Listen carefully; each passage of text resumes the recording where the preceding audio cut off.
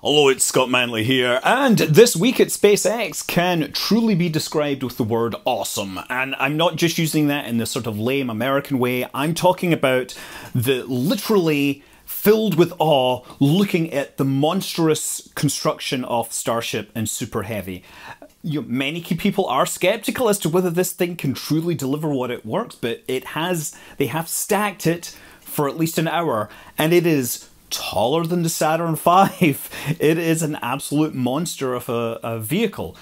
And yeah, this was something that happened just in the last week. They finished out the vehicles as much was as was necessary so they could be rolled to the pad and perform this fit check. They have a landing structure, or a, sorry, a launch structure which consists of this large ring with like movable arms that come down to support the bottom of the vehicle um, and they fold out, fold back up during launch. The the booster itself, it rolled out with 29 engines on it, and it seemed that they fitted these engines overnight, although it's clear that they weren't truly integrated into the vehicle because they're being taken back off now. One of the things that we saw is a photograph from Elon showing the booster from below, and you could see that some of the engines had white interiors in their nozzles, showing that they had never been test fired. Now, I think in theory they can do things where they swap out nozzles, but I think they basically rolled the or moved the booster engines straight to Boca Chica, put them on the booster, and now they'll be taking them off and sending them off to McGregor for actual testing and validation. The booster also has four grid fins, and this is the first time we've seen this on a super heavy launch vehicle. Now, the Falcon 9 has grid fins as well, it has four of them, and they're arranged at 90 degree angles around each other, and that allows them to guide the vehicle aerodynamically to its landing site. But on Super Heavy, they've made a few changes. First of all, these are monster, like three ton stainless steel grid fins. They're absolutely humongous. Um, secondly, Unlike the Falcon 9, these ones do not fold in on ascent. They're fixed all the way out. They still roll left and right, and on Falcon 9, they're driven by hydraulics. On Super Heavy, they're currently driven by motors and batteries from Tesla vehicles, which obviously makes sense. Um, the other thing is that they're not at 90 degrees to each other. They're in pairs 60 degree apart opposite each other. And that has the effect of giving them more control authority in one axis at the expense of control authority in another axis. And the thing is, during the descent, it's maintaining this sort of glides angle as it's you're trying to head towards the target. So it needs more control in that axis and less control at uh, you know yawing or rolling. So I can see why they've done this and it, it makes sense. But what I really want to talk about is the Starship. So this is Starship number 20. Yeah, Booster 4, Starship 20, 420. Go figure. Uh, again, it's the first Starship where we've seen the three fixed uh, vacuum engines on there. And again, some of those engines that we saw from below have white interiors indicating they haven't been test fired. They've already been taken off and I believe they're going to get fired soon. More interestingly, we got a really good look at a near complete thermal protection system. So the thermal protection system on Starship is absolutely critical to Starship doing what it, it, plans. Starship wants to be a rapidly reusable system and it needs a thermal protection system which needs almost no maintenance. So SpaceX have already developed a working heat shield for their Dragon spacecraft, but it is a different beast entirely. The Dragon capsule, it returns from space, lands in the water, and then goes off to a factory to be refurbished and the heat shield replaced. Because they're replacing the heat shield, they use an ablative heat shield. They use something called Pika X, phenolic impregnated carbon ablator. And the ablator part what it is is there's a the resin, the phenolic resin that makes up this heat shield. When it gets hot due to the re-entry heating, it breaks down and creates gas, and that gas comes out through the surface and it provides a protective layer. And because of this, they can get away with a much thinner and lighter heat shield. Now, Starship, on the other hand, is supposed to be rapidly reusable. That is the dream, that this thing can land, can have a quick inspection, and be put back on top of a launch vehicle and head straight back to space. And that means you can't afford to replace the entire heat shield every type. So you need to use a, an insulating type heat shield that can handle the very high temperatures without breaking down. And the closest thing that we've seen to that is the space shuttle. And the space shuttle had a pretty bad reputation for its heat shields. Like it was eternally a problem and indeed they almost they lost one vehicle because the heat shield was damaged and they almost lost at least a couple of others uh, the heat shield needed a lot of inspection and replacement between flights. So, since the space shuttle had such problems, how do we think that SpaceX can do the same thing with Starship but get rid of all the problems? Well, first of all, there's a few things that uh, are on SpaceX's side. First of all, the space shuttle was mounted on site, side on to a tank, and that tank had flecks of foam and ice, and those would fall off and impinge on the bottom surface, which is where your heat shield is. Like, in retrospect, it would have made more sense to mount the space shuttle upside down on the tank so that the top of the shuttle would be getting damaged by this stuff. But, you know, these are the kind of things you learn after you've flown for a while. SpaceX don't have this problem with Starship because Starship sits on top. The other thing is that the space shuttle had a very complex geometry, and the complex geometry meant that it needed lots of different tile designs to cover the entirety of the vehicle. They had if they had a tile that needed replaced, they had to go and get that exact tile from the thousands of different designs and make sure it was inserted in there. Um, there's other problems that the space shuttle had that uh, used aluminium, which had you know, greater expansion than uh, the stainless steel that we'll be seeing on Starship. Um, but yeah, the the and the other thing is that Starship can afford to get warmer underneath or hotter because it's stainless steel, whereas the shuttle had an aluminium structure underneath. So Starship's much simpler geometry means that the majority of the tiles are these identical hexagonal designs. And you know, to get an idea of how big these things are, they're about the size of dinner plates. I think they're about you know 12 inches, 30 centimeters across, and they are very easy to apply to the side of the, the structure. So you're not going in and applying strain isolation pads and then glue and then spacers and then supports and then the tile you're literally going up and there's mounting pins that have been pre-placed on there. There's a robot that goes in and welds on these mounting pins with little uh, spring clips in their head and you basically just push the tile on and there are little holes in the tile with metal brackets inside them. And these will clip on and one of the nice things is that when it's mounted there's actually some play in these holes and because they use three of them the tile can actually respond as the structure moves underneath it. So it's not like uh, the space shuttle where they had to have these fabric isolation pads to you know stop the flexing from popping the tile off. It's really it has a lot of freedom to move there is actually a pad underneath, which we believe is some kind of ceramic wool design. It's probably made of silica or alumina fibers. It'll probably handle you know temperatures of a thousand degrees Celsius quite easily, but it's not like a primary heat shield by any means. If you lose a tile, I wouldn't rely on this to give you a significant amount of protection.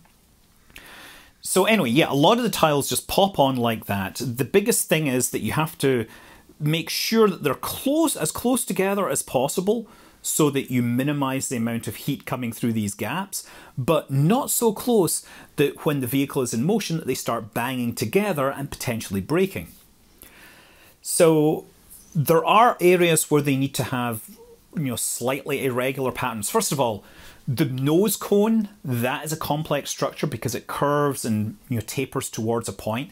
So they have a bunch of different strategies for slowly shrinking these rings as they go up. Uh, the wings, or sorry, the fins, those have a whole bunch of very specific shapes on them and they're being filled in right now. Now, only half of Starship is being tiled. The back end is only going to get plasma from the you know trail. It's going to get like reflected heat from the radi- the thermal radiation.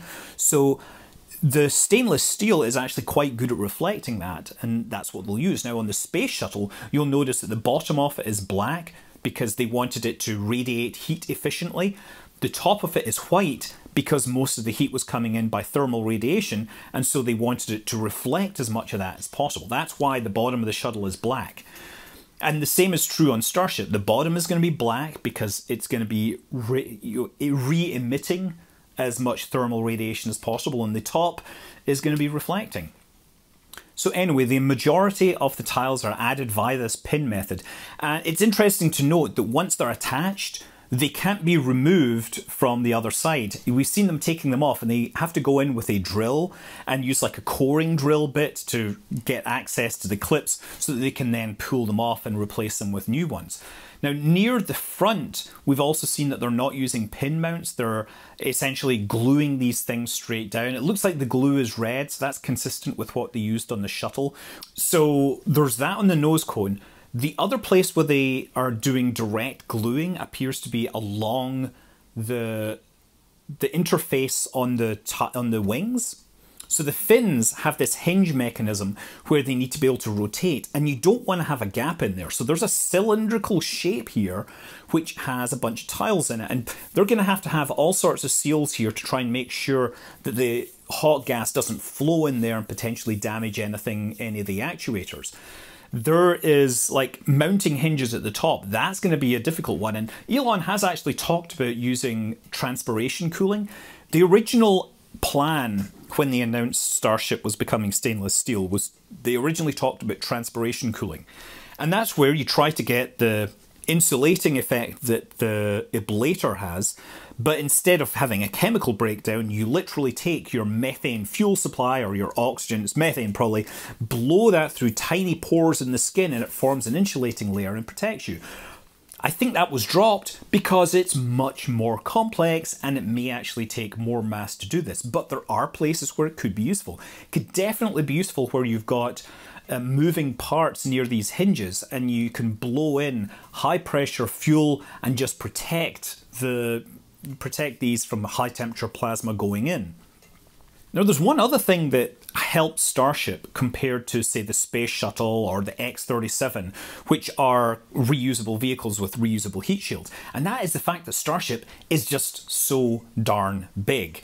So there's a basic factor in re-entry aerodynamics called the, the radius of curvature. So blunt bodies are the way to go for re-entry because the blunter your body, right, the or the further away the stagnation point is. And the stagnation point is basically where you've got this shock wave that is formed just in front of the body. And there, the speed of the incoming air has gone from like hypersonic speeds down to basically the speed of the vehicle and it forms this shock wave at some distance from the surface and that's where most of your heat is.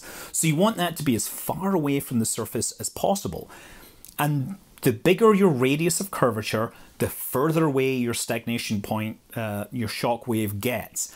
So by having Starship be so large, this really helps it a whole lot compared to something like very small like the X-37B, which is absolutely tiny. But you know, Starship isn't just a simple cylinder, it has other complex geometry. And when you have changes to the shape, this can do all sorts of interesting things in terms of generating shock waves, generating hotspots, and they will have done a lot of simulations to make sure they have the right amount of thermal protection system where they expect these spots to be. They will do simulations in hypersonic wind tunnels, they will do like com computational fluid dynamics to try to understand before they fly this. But flight will be the ultimate test, and there's a lot of things that could go wrong. I mean, first of all, you know, if there's any damage to the heat shield at all, they could lose the entire vehicle during descent, and they would like to know how. One way is to have instrumentation like thermocouples across the surface to measure the temperature in different locations. They could actually have cameras like inside the tanks looking at the inside surface because literally the outer wall of the tanks is the surface of the vehicle. So that could actually give them some clues. Uh, but, you know, in terms of damage, I think it's actually more likely to get damaged on ascent because max Q typically is the highest dynamic pressures that a vehicle will see. That was true of the space shuttle.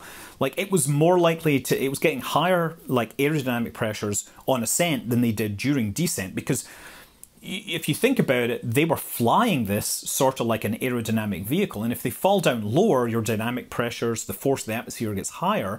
But since you can use the lift, you can avoid that happening and keep the pressures at a low, manageable level.